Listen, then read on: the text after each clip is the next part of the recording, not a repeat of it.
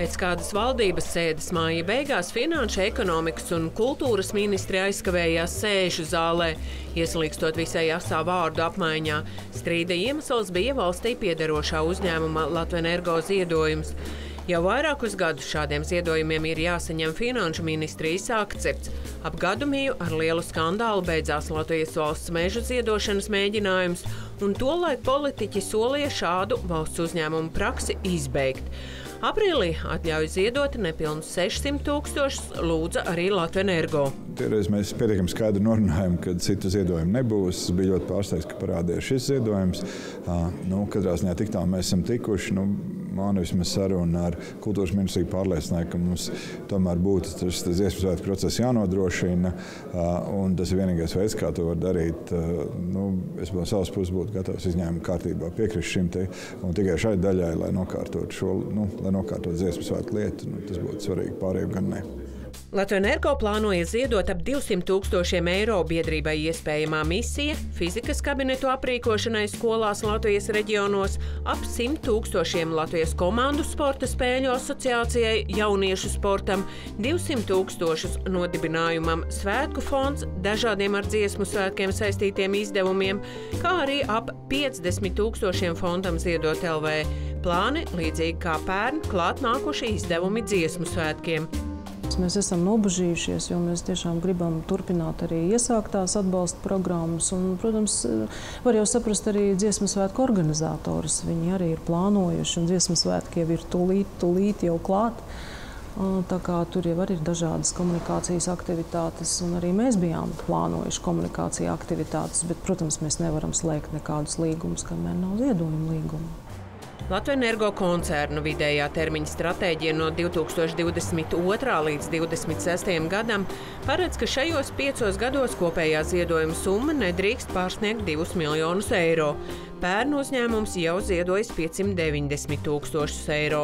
Lielākā daļa no tā izglītībai un sportam un pārējais sociālajiem mērķiem, bet kultūras projektiem pēdējo reizi ziedots 2020. gadā. Mums jāskatās nu, teiksim, līdz stratēģijas perioda beigām, ko mēs varam atļauties, ko nē. Nu, izglītība un zinātnē mēs esam lēmuši, ka mēs noteikti turpinām, tur ir projekti pamainījušies. Bet kultūras jomā mēs sapratām, ka, ka tomēr sadarbību ar Valsts kultūra kapitāla fondu neturpināsim. Bet atstāsim kā vienīgo prioritāti, eh, kā mēs sakām, lielos un mazos dziesmu svētkus, vispārējos eh, dziesmu deju svētkus un skolu jaunatnes dziesmu deju svētkus. Un arī sociālās palīdzības jomā mēs turpināsim atbalstu. Nu, no mūsu puses, es domāju, ka tas darbs ir, ir izdarīts ļoti kvalitatīvi. Es, nu, tā, mēs arī neesam saņēmuši nekādus pārmetumus. Tās, tās finanšu resursi, ar ko mēs strādājam, tiešām ir nu, salīdzinoši maziem līdzekļiem, mēģinām sasniegt liels rezultāts. Gan plānotajā šā gada ziedojumā, gan pērn un aizpērn 100 tūkstoši bija atvēlēti Latvijas komandu sporta spēļu asociācijai. Iepriekš tās izsludinātajos projektu konkursos lauvas tiesu no ziedojuma saņēma Latvijas Basketbola Savienība. Pēc ilgākām diskusijām politiski panākts kompromiss, ka Latvijas energo šoreiz ziedot neatļaus, bet būs viens izņēmums - 200 tūkstoši eiro nodibinājumam Svētku fonds dziesmu svētku organizēšanai. Piebildīšu no savas puses, ka Tas mums radīja nopietnas sarežģījumus, jo mēs visi zinām, ka budžets tika pieņemts tikai martā. Līdz ar to arī mēs esam ierobežoti termiņos.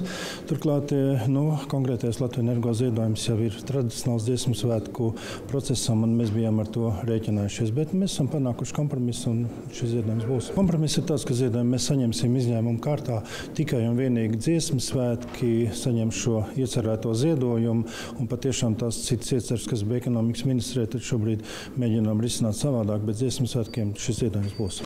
Latvijas energo pirmoreiz svētku fondam ziedojas 2015. gadā, kad tas sāca sadarboties ar dziesmu svētku organizētājiem, pēc tam arī 17. un 18. gadā. No iesaistīto pušu skaidrojumiem saprotams, ka nevalstiskā organizācija piesaistīta gan ziedojumu vākšanai, gan arī organizatoriskiem pasākumiem brīžos, kad valsts iestādēji jāturas pie iepirkumu rāmja, bet tādiem īsti nav laika. Biedrības iespējas esot operatīvākas. Ir šīs operatīvās sadaļas, ko mēs nevaram palīdzēt, nevaram paredzēt. Vai nu tas ir ūdens, vai saulēk tas ir bijis skolēnu dziesmu svētkos. Es zinu tādu gadījumu, ka tas ir bijis ledus, kas ir bijis nepieciešams ātrās palīdzības eh, tam šīm teltīm, un ka tas bijis ātri jānopērk, ka summa ir virs šī iepirkuma sliekšņa. Un eh, tad fonds to operatīvi ātri var izdarīt vienas dienas laikā. Biedrības pārstāvē Vita Kļaviņa savus komentārus atsūta rakstiski. Viņa norāda, ka sadarbības līgums ar dziesmu svētku organizētājiem noslēgts pēc fonda iniciatīvas 2015. gadā.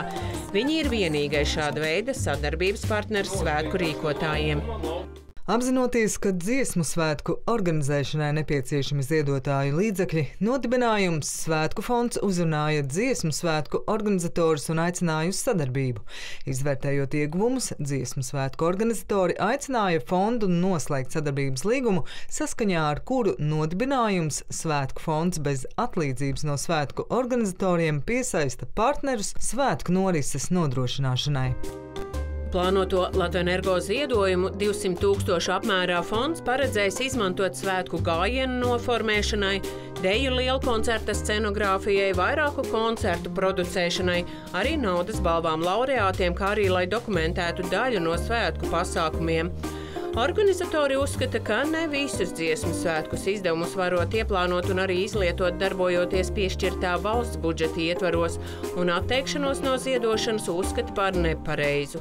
Mēs varam teorētiski izdomāt, ka mēs varam svētku sākt rīkot divus vai trīs gadus iepriekš, bet mēs nekad nevaram paredzēt kaut kādas neparedzētas situācijas. Procesa ietvaros gan apsvērt iespēju arī pārdalīt dziesmu svētku trūkstošos līdzekļus no neparedzēto gadījumu budžeta, lai nebūtu jāizdara izņēmuma attiecībā uz ziedošanu, taču tas izrādījies neiespējami. Mēs bijām spiest konstatēt, ka attiecīgā biedrība, kas ir parasti šāda ziedojuma saņēmējs, jau ir rēķinājusies ar šādu ziedojumu, un tātad uzņēmums ir zināmā mērā saistības jau ir. Nu, lūk, šajā situācijā es vienkārši piekrītu, tad, ka to daļu, kas attiecās dziesmu svētkiem, tad to es esmu gatavs atbalstīt, un par to attiecīgi būs virzīsim, tātad, kultūras ministrija virzīs ziņojumu uz valdības sēdi. Tad skatīsimies, kas tajā ziņojumā būs iekšā. Un, ja es dabūšu valdības rīkojumu, kad es viņu varu parakstīt, tad arī tad tas tā arī varētu notikt.